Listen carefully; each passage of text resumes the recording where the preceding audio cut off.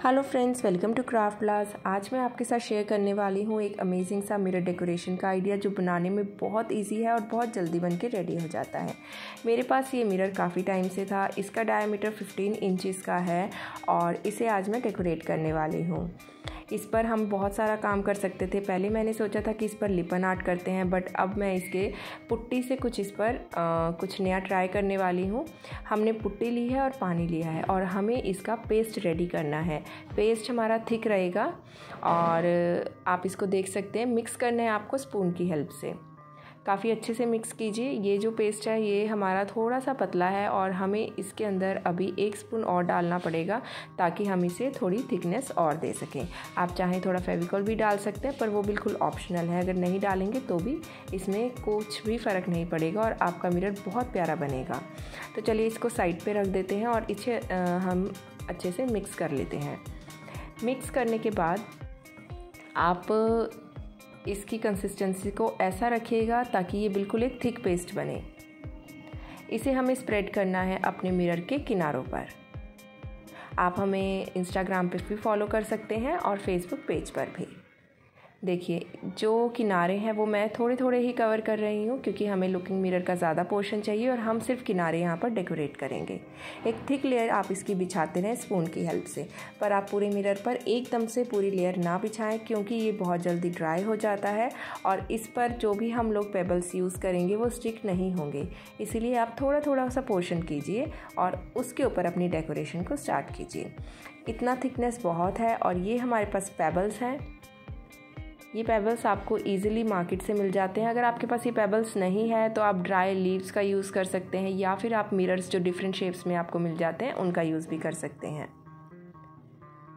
देखिए, इस तरह से मेरे पास काफ़ी सारे मल्टी कलर में स्टोन्स थे, जिनको मैंने अलग अलग करके red yellow green orange blue अलग अलग किए हैं। आप चाहें तो मल्टीपल कलर्स भी इकट्ठे लगा सकते हैं बट मैं यहाँ पर अलग अलग कलर्स को लगाऊँगी।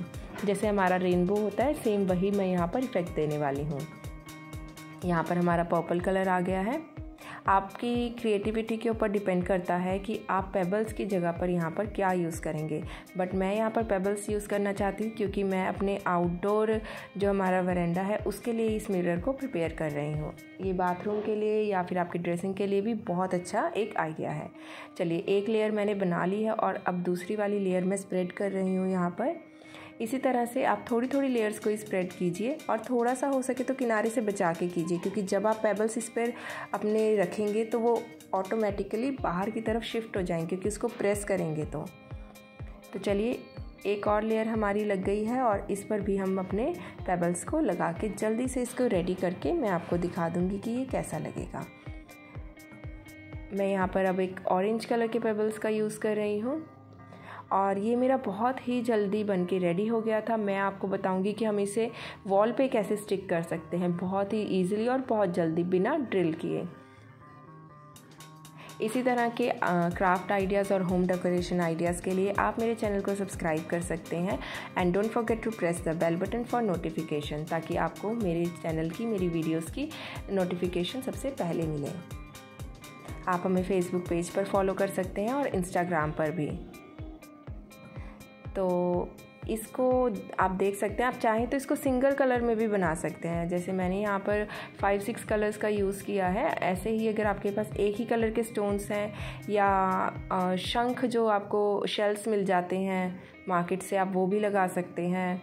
आर्टिफिशियल फ्लावर्स लगा सकते हैं, बहुत सारे ऑप्शन हैं जिनको आप यूज़ करके मिरर्स बना सकते हैं।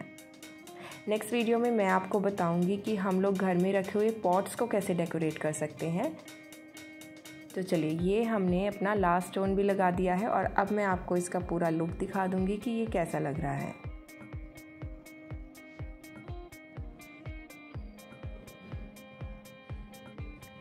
हमारा मिरर बन के रेडी हो गया है। इसको थोड़ी देर हमें ड्राई करने के लिए छोड़ना होगा, क्योंकि पुट्टी थोड़ा सा टाइम लेगी पूरा अच्छे से इसको जो स्टोन्स हैं, उन्हें पकड़ने में।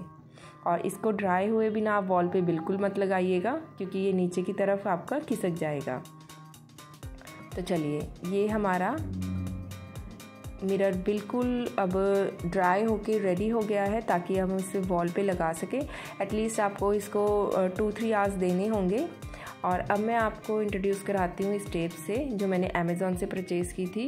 ये डबल साइडेड टेप होती है और आप देख सकते हैं, मैंने बैक साइड पे लगाया है इसको। और ये हमारा ईज़िली टाइल पे या वॉल पे लग जाता है। मोस्टली ये टाइल्स के लिए है तो ये टाइल्स पे ईज़िली आपका स्टिक हो जाएगा। ये देखिए, हमने तीन टेप पीछे यूज़ की हैं और ये बिल्कुल अच्छे से स्टिक हो गया है और आई होप आपको ये मिरर का आइडिया अच्छा लगा होगा। मुझे कमेंट्स में ज़रूर बताइएगा। और भी अगर आप नए नए टाइप की वीडियोस देखना चाहते हैं तो आप हमें सजेशंस भी कमेंट बॉक्स में लिख के बता सकते हैं। इस वीडियो को अपने फ्रेंड्स और फैमिली के साथ शेयर करना बिल्कुल मत भूलिएगा। And don't forget to like the video जिन्होंने मेरे चैनल को सब्सक्राइब नहीं किया है, वह भी जल्दी से सब्सक्राइब कर लीजिए। इसी तरह की home decoration and craft videos के लिए। हम वीक में एक या दो बार बच्चों की वर्कशीट्स की वीडियोस भी डालते हैं तो आप उसके लिए भी हमारे चैनल को सब्सक्राइब कर सकते हैं।